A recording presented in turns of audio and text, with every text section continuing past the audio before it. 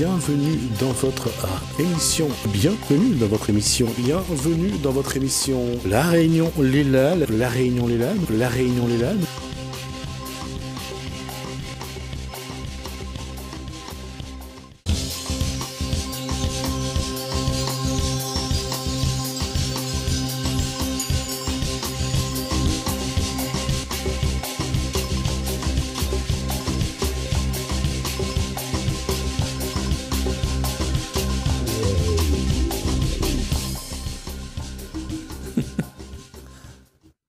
Bonjour à tous et bienvenue sur la musique entraînante de La Réunion Léla. Aujourd'hui, nous allons parler de, des relations familiales, des relations humaines, avec deux invités dans Cosmo Réunionnais.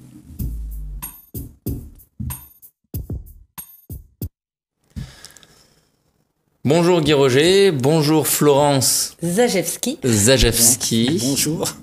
De quoi allons-nous parler aujourd'hui? La relation, c'est quelque chose de très important.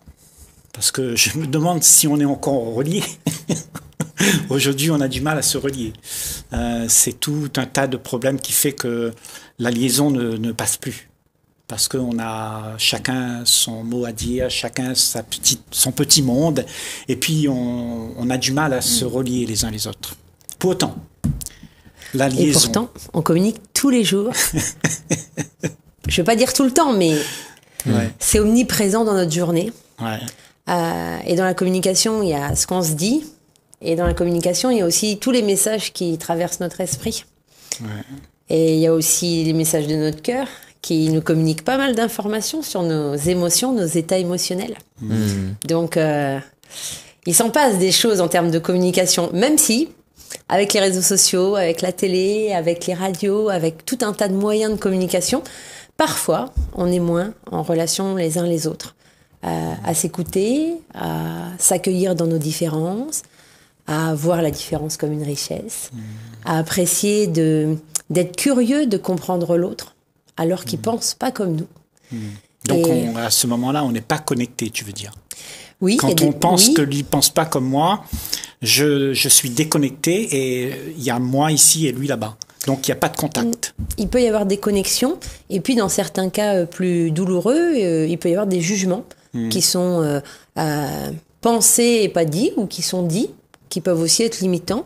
Et puis, ben, à travers ces jugements, ben, il peut y avoir des jeux de pouvoir et des jeux de menaces, comme s'il y en avait certains qui avaient raison et d'autres tort, alors que ben, il existe plein de formes de communication pour se mettre en, en lien, être en lien les uns les autres, s'accueillir dans nos différences, mais aussi euh, bah, nous rassembler dans euh, nos points communs, et puis ben miser sur les forces de chacun potentiellement, parce que euh, on peut faire de, de grandes choses, et on est plus fort euh, ensemble que tout seul. En tout cas, euh, j'aime cette idée, euh, effectivement, de, de pouvoir être dans de la coopération, d'être dans du respect mutuel euh, de nos valeurs, de notre approche, notre philosophie de vie, ce qui nous anime, euh, ce qui est essentiel pour nous, et c'est ok de sortir des jeux de la comparaison, de sortir du jugement, quoi. Je pense qu'au fond, au fond de chacun d'entre nous, on a cette, euh, cette envie euh, de faire en sorte que il y a cette liaison entre nous. Il y a cette, euh, cette euh, émergence en nous qui fait que on a envie. Mais souvent, je trouve que la peur nous en empêche. Euh, on a euh, une appréhension que si je dis quelque chose, ben l'autre il va pas l'accepter ou il va me rejeter parce que ce n'est pas dans le sens commun de tous. Et donc euh, on, on hésite. Et ça fait que de nous, les, des êtres humains, c'est que on, on a tendance plutôt à se renfermer sur euh, le petit monde qui est rassurant qu'on connaît, tu vois. Et je pense que c'est là où est peut-être euh, il y a une clé euh, pour notre notre société aujourd'hui, parce qu'on est on, on arrive à, un tournant aujourd'hui de l'histoire de la race humaine où on sait tous que on est on va dans le mur. On n'a pas Moi, je saute, Florence. je bondis sur la clé. Ah, vas-y. La clé pour sortir euh, de cet effondrement, c'est ça? Ah ben, pour ma part, hein, pour l'avoir vécu, expérimenté aujourd'hui, pour euh, le partager en milieu professionnel, mais aussi auprès de parents et en milieu associatif, euh, la communication consciente et bienveillante, aussi euh, et originellement appelée communication non violente, parce que la communication consciente et bienveillante, c'est juste la reprise d'une philosophie qui a été élaborée par Marshall Rosenberg, euh, qui est un philosophe et qui, depuis plus de 50 ans, a mis en place un processus de façon de penser et de communiquer. Partout dans le monde, aux partout États-Unis, dans le monde. même en Euh, Israël. dans tous les pays du monde. Mm. Et il l'a mis en place aussi bien dans la sphère familiale, dans la sphère professionnelle, dans la sphère nationale, y compris entre des ethnies qui étaient en guerre et qui ne se parlaient plus. Et il a réussi à recréer du dialogue. Mm. Alors, c'est quoi cette clé de l'harmonie. Marshall Parce que Marshall, il est réunionnais, lui, déjà. Non, il Non, n'est pas réunionnais. Américain. Euh, Marshall Rosenberg, en fait, lui, il a connu, euh, euh, il a connu des violences dans, dans son enfance. Et du coup, ça l'a inspiré pour chercher comment est-ce que entre humains on peut créer des relations saines, durables. Euh, et donc finalement, il propose euh, un processus de communication, mais ça va bien au-delà, c'est une philosophie de vie, qui consiste à communiquer beaucoup plus sur des observations factuelles. Qu'est-ce qui est dit, qu'est-ce qui est fait, qu'est-ce que j'ai vu, qu'est-ce que j'ai entendu. Ça, c'est la première étape. Ça, c'est la première étape. Les faits. Plus- plutôt que de communiquer sur des jugements, des interprétations. T'as fait ci, t'as fait ça, à Ouais. cause de toi on en est arrivé là. Ouais. Si t'avais pas fait ça, on n'en serait pas là maintenant aujourd'hui. Mm. Plutôt Et- que des comparaisons, bah ouais, mais tu vois ton frère, bah ouais, mais tu vois ta belle-sœur, euh, elle est Mm. mieux que toi, etc. Le commérage, tu sais, un tel. Ouais, elle a dit.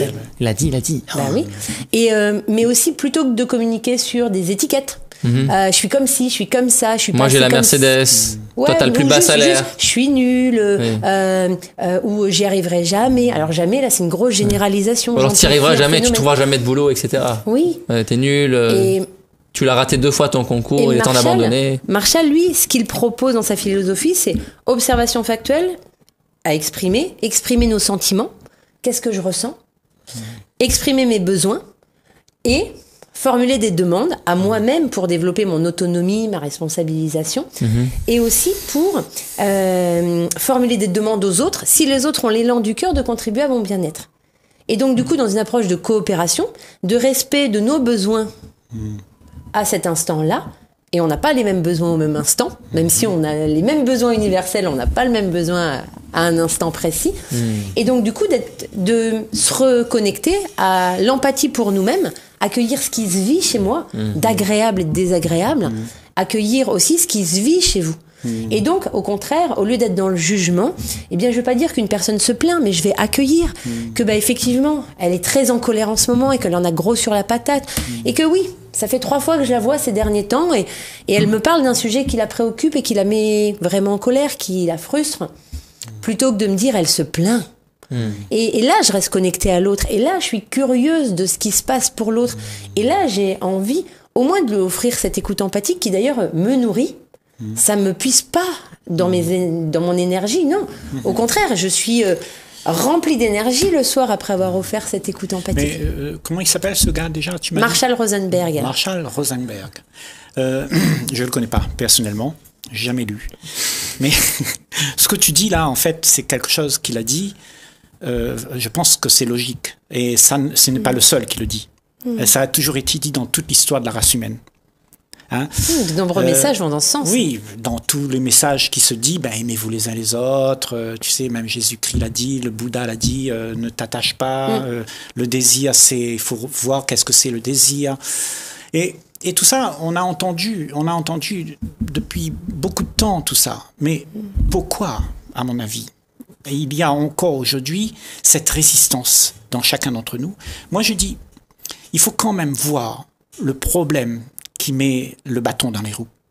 Parce que si on n'a pas vu ça, on peut avoir lu, on peut avoir les plus belles idées de toute la planète. Mais si on n'a pas vu le désordre, on ne pourra pas jamais mettre de l'autre. Tu vois? Pour toi, c'est quoi le désordre? Qu'est-ce qui met le. Est-ce Ben- que voir le désordre, c'est la même chose que d'observer les faits? Euh, dans la technique que vient d'exposer Exactement. Observer Exactement. les faits. C'est ce que, c'est ce que. Dans une que tu- approche de comparaison et de compétition, par Voilà, exemple, voilà. dans des systèmes compé- de compétition plutôt que dans des systèmes bienveillants, Mhm. on peut percevoir des différences nettes. Voilà. Euh, Et euh, qu'on en parle, c'est De voir les faits, de voir ce qu'il y a. que- Oui. qu'on en parle, c'est extraordinaire qu'on puisse en parler là sur ce plateau de télé, Ben parce oui. que parce que justement c'est toute la, la, la base de, de l'être humain. Elle est là de pouvoir en fait de trouver le moyen de s'entendre, de se parler, de ne pas que chacun reste dans son petit monde à lui, tu vois. Et, et justement pour sortir de là, eh ben à mon avis, te- il faut voir qui empêche soit d'être avec les autres. Parce que le pire ennemi, c'est c'est nous-mêmes. hein. Il n'y a pas personne qui viendra nous sauver, à mon avis. hein. Il y a Mais personne- si, nous, oui, moi-même, je me sauve chaque bien jour. sûr. Alors si tu et as- notamment, et notamment euh, en sortant d'un schéma où je me dis il faut, il faut, il faut, mais au contraire dans un schéma où je me dis je choisis, je décide, c'est important pour moi pour pouvoir ben, euh, euh, vivre une vie en cohérence avec Mmh. ma singularité, avec ma sensibilité, avec mes valeurs, apprendre à me respecter au-delà des conditionnements. Mmh. Euh, les sages Toltec évoquent euh, la domestication. On peut se dédomestiquer, on peut Mmh. Se déconditionner. Tol, Les sages amérindiens Toltec, Am- Amérindien, d'accord. euh, qui, Les Indiens d'Amérique. qui sont plus connus euh, sous euh, euh, les lectures de Don Miguel Ruiz sur les Mmh. quatre accords Toltec. Et il parle de dédomestication. Il parle de dédomestication. Il C'est-à-dire dit il on est domestiqué et on peut On redevienne à- sauvage, quoi. Oui, alors On sauvage, redevient sauvage. c'est retrouver sa nature. C'est c'est dans ce sens-là. Et Ah, pas- retrouver sa nature, pas devenir sauvage. Non, voilà, retrouver, Retrouver. sa, retrouver sa nature. Sa nature première, son sa identité. nature première, son vraie. identité. Et dans oui, mais cette c'est la identité. nature première. C'est Euh, quoi C'est c'est l'homme des cavernes Non, mais ce que tu dis, la, la- On la lâche nature l'ordinateur. première et aujourd'hui puis- dans notre société, elle n'est pas reconnue. Oui. Parce que la société est formatée à te dire quelle nature tu devrais avoir. Ah. Tu devrais être gentil, tu ne devrais pas être égoïste, il faut faire comme ci, comme ça, et faire Ah, du sorte- chantage affectif. Sympa. Il vaut mieux être avocat et ingénieur que euh, éboueur, par exemple, Voilà, que d'être euh, rien. ou paysan. hein, euh, que, voilà, et puis toute qui sont cette des schémas, comparaison, ce que qui tu sont disais. juste des schémas et des conditionnements en fait. Mhm. Euh, je discutais avec une personne il y a juste avant qu'on commence l'émission et elle me disait moi ce que je dis à mes enfants c'est que surtout qu'ils fassent quelque chose dans leur vie professionnellement qui a du cœur où ils sont connectés et où ils s'épanouissent. Il y a plein de façons de s'épanouir. Et sûr. si on sortait de ces schémas de conditionnement, d'être conditionné sur des notes qui emmènent vers telle orientation professionnelle, et si on observait les forces de chaque être humain en psychologie positive, les préconisations des scientifiques, c'est clairement de s'appuyer sur les forces de chacun, plutôt que de chercher à déployer euh, et d'améliorer nos, nos failles ou nos faiblesses ou les... Non, Mais tout à l'heure, tu parlais, de, forces. tu parlais de quelque chose de commun Même si ces forces nous. ne sont pas euh, rémunératrices, même si ces forces ne sont pas reconnues socialement, vous seriez en train de dire aux parents euh, qui inscrivent leurs enfants à de grandes écoles pour un grand destin d'arrêter ça? Non, non, c'est pas ça qu'on dit. Enfin, c'est pas. Excuse-moi, je peux répondre. Euh, À la première personne, oui, tout à fait. Et non, moi aussi, je, en, je fait, dirais en fait, euh, c'est pas ça qu'il faut euh, enseigner. Euh, c'est de dire qu'on doit, on est curieux. Les humains, ils sont curieux. On a envie d'étudier, de, comprendre les choses. Mais c'est cette façon d'étudier qui te mène à devenir quelqu'un qui sort, du lot de tous les autres qui, qui étudie. Tu vois, on te donne une note, on te dit c'est bien, continue et tu seras grand un jour. Tu vois? Et c'est ça qui détruit notre com- co- communion, communication entre nous, parce que chacun d'entre nous, on n'a pas envie que quelqu'un soit au-dessus de nous. Parce que l'orgueil, elle est, elle, est, elle, elle est devenue, elle monte, on monte au fur et à mesure qu'on agit comme ça.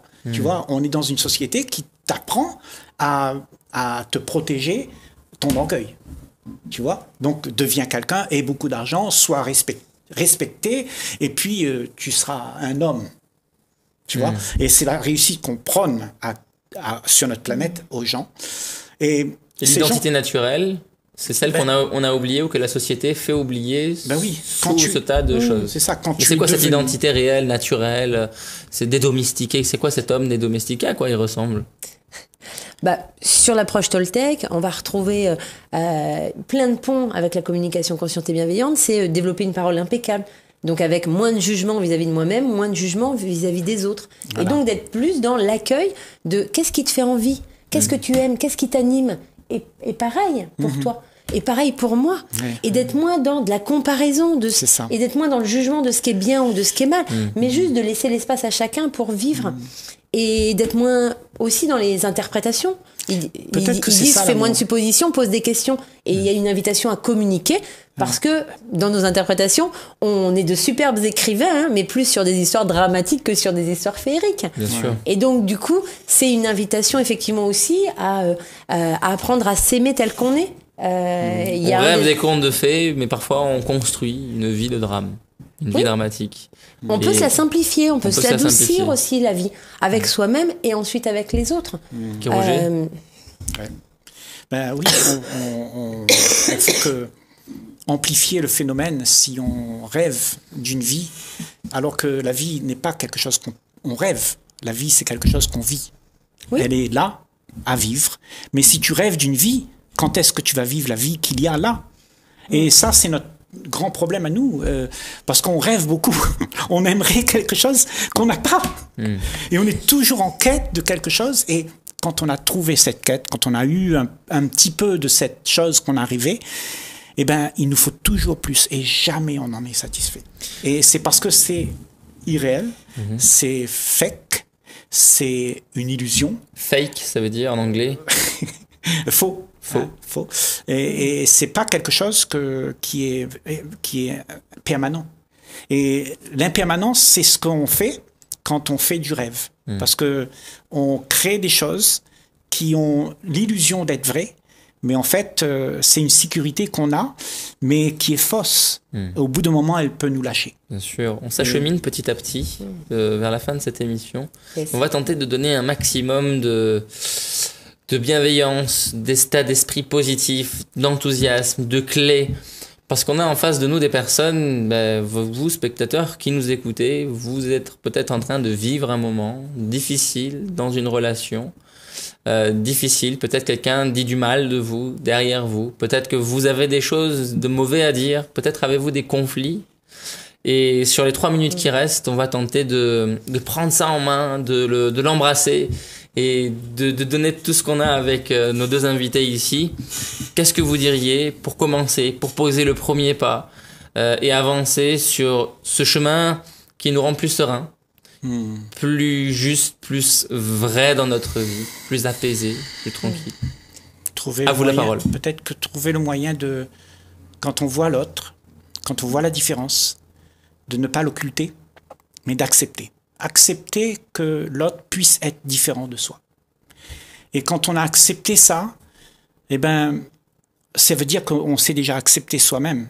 Et on n'a pas besoin que quelqu'un ou des choses soient, soient à notre goût. Donc, on accepte et toutes les choses vont bien. Il n'y a pas de problème. Et là, je dirais tout à l'heure, euh, ce mot aimer, si tout le monde aimait, parce que aimer, ça veut dire donner. Si on donne, chacun d'entre nous ne prend rien, eh bien, tout le monde aurait assez et tout le monde serait satisfait. Bon, moi, ça me connecte direct euh, avec cette, euh, cette idée de d'aimer, c'est s'aimer soi, apprendre à s'aimer soi, et donc ça. du coup, de sortir de, euh, de l'importance qu'on accorde au regard de l'autre, et de réapprendre à, à s'aimer. Et de manière plus concrète au quotidien, pour moi, c'est euh, euh, observer les jugements qui me traversent l'esprit, les accueillir, accueillir mes jugements et me féliciter déjà de mes prises de conscience que je juge. Je me félicite pas que je juge, hein, mais je me félicite de mes prises de conscience, De le voir. Voilà. de le voir. voilà. Et en voyant et en prenant conscience que quand je juge l'autre ou moi-même, j'accentue toute seule mon inconfort par rapport à un stimuli extérieur ou un stimulus, et bien finalement, je me rends compte que j'ai la possibilité de m'épargner ça. Je peux faire le choix, motivation intrinsèque, de sortir du jugement de moi, du jugement des autres, pour adoucir ma vie. De retenir le jugement Oui, au lieu de l'exprimer. oui. Et peut-être l'expression Et l'exprimer autrement. L'exprimer autrement. Ça veut dire que L'exprimer comment? En exprimant ce que moi je ressens. Je suis frustrée, je suis en colère. voilà, voilà. Parce que j'ai besoin de quelque chose. Peut-être de calme, besoin- peut-être de repos, peut-être de coopération, peut-être de discussion. Et c'est ta peur de ne pas avoir ce que tu penses de être dû, le dû que on te donne. C'est la peur de ne pas avoir ça, peut-être qui te fait agir dans la compulsion. Et de justement voir cette compulsion qui fait que tu n'arrives pas à passer au-delà de tes peurs. Nous avons un commun accord ici autour euh, de la table euh, de voir, d'observer, de regarder, de se regarder, regarder ses pensées, si elles sont négatives. S'il y a la négativité, retenez-le. Euh, ne le laissez pas s'exprimer. Observez-le. Alors on peut se dire, mais je suis en train de bouillir, je n'en peux plus. Eh bien, essayez de patienter d'ici la prochaine émission. Nous en parlerons avec nos deux invités. Merci. Merci Guy Roger. Merci. Merci Et plutôt que de retenir notre colère, je dirais l'exprimer autrement Oh. pour rester en lien. Voilà. exprimer autrement. Et on va voir dans la prochaine émission comment exprimer autrement notre colère, notre négativité, Ouais. le transfigurer, le transformer. Euh, Peut-être que euh, le légume qui n'était pas si bon au départ, ben, une fois qu'il est cuit, euh, il est meilleur. Hmm. Merci à l'équipe, merci euh, à tout le monde. Nous allons faire une courte pause avec un reportage et le COSAID. À tout à l'heure.